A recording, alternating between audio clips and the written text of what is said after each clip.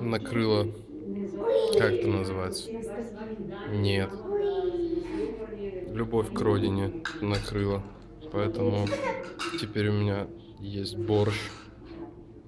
И скоро еще принесут мне пельмени. Борщ.